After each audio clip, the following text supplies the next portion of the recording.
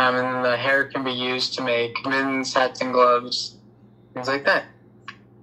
This particular breed is an English Angora, and that's why you don't see very much of the face.